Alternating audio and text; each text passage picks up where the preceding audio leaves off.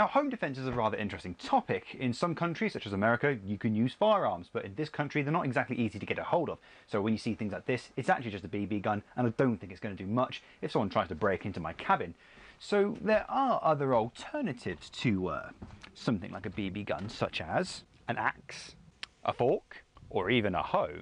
Now, these methods for uh, home defence are a bit boring, Plus, they're borderline illegal. You know, you can't go around waving knives in people's faces. The phrase goes, every Englishman's home is his castle, and I thought, technically, catapults are not illegal in this country. In this episode of The Gentleman Maker, we're going to build a trebuchet to defend your home.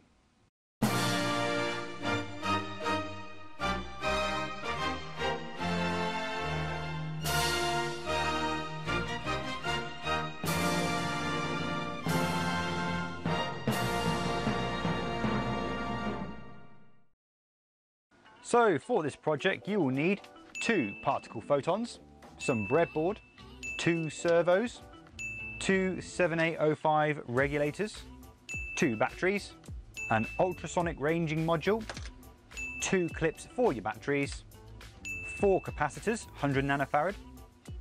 You're also going to need some wire, some wood, string and other materials to build your trebuchet. All the parts for the trebuchet project can be found on DigiKey, link in the description below. The scheme schematic for this project is rather simple. Each photon has a servo to control.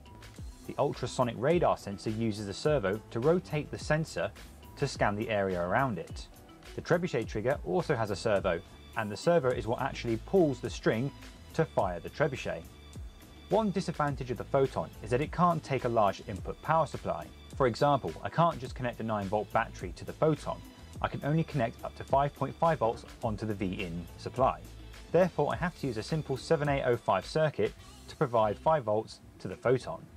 The code for each photon is rather complex so we'll only briefly look at it. Both the trebuchet trigger and the ultrasonic radar sensor use the MQTT library and we take advantage of the test server that is run by the Mosquitto organisation. The trebuchet trigger has a simple callback function and all that does is look to see if a message has been posted to the trigger topic. If there has, then it knows to fire. The ultrasonic sensor program doesn't need a callback function, or at least it doesn't need to do anything, because the ultrasonic sensor doesn't actually subscribe to anything, it only publishes data.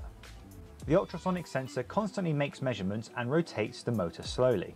Then it publishes data to a topic called radar data, and it uses the hashtag symbol to separate the angle from the distance measured. A simple Python program has been made, and all this does is take data from that topic, the radar data topic, and then determines if the distance is too short, in other words if something has crossed the sensor. Once it makes that detection it then publishes some data to the trigger feed which then causes the trebuchet to trigger. The Python program also displays the distance data on a really trivial radar-like screen. Now this design can easily be expanded to have multiple sensors, but for now we're just sticking to the one sensor and as you can see, as the sensor rotates, it plots the distance data. The heart of the Trebuchet project is the particle photon. Now, I was only introduced to this about two weeks ago, and ever since I discovered them, I think they are the bee's knees. They are the best thing I've ever seen. But why?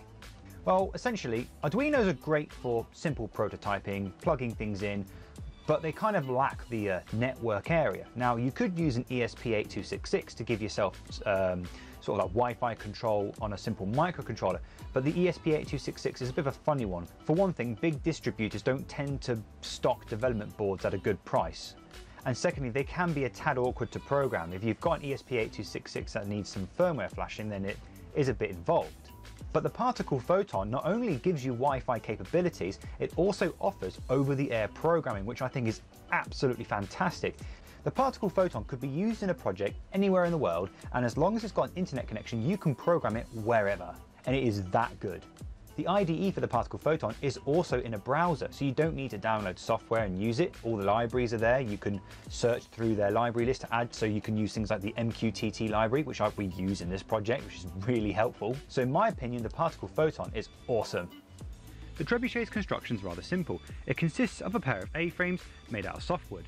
A centre bar is used as a pivot point and also keeps the A-frames together. Four bricks are taped together with parcel tape which are then connected with string to the main lever. A small servo is used to hold the string that connects to the lever to stop it from firing.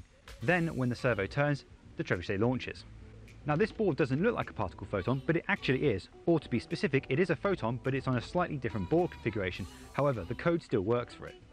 The ultrasonic radar is also rather simple, mounted on a single piece of wood, another piece of wood on top of the servo for the ultrasonic module to sit on, and the breadboard as well.